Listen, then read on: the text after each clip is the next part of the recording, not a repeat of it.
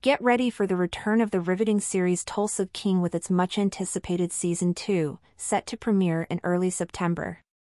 This Paramount Plus original, led by the legendary Sylvester Stallone, takes us back to the intriguing world of Dwight Manfredi, a New York mafioso ex-con sent to establish operations in Tulsa, Oklahoma. Season 2 promises escalated drama with interesting court scenes and heightened conflicts, keeping viewers on the edge of their seats. The cast, including Andrea Savage, Martin Starr, Jay Will, Max Casella, Dominic Lombardozzi, Vincent Piazza, A.C. Peterson, Garrett Hedlund, and Dana Delany, is set to return, bringing their characters to life with their stellar performances.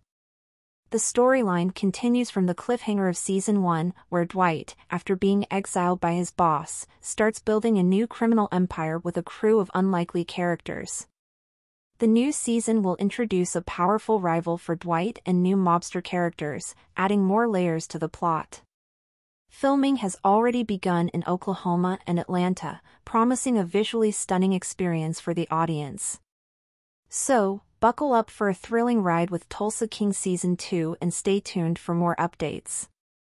Don't forget to hit the like button, share, and subscribe to our channel for more exciting content.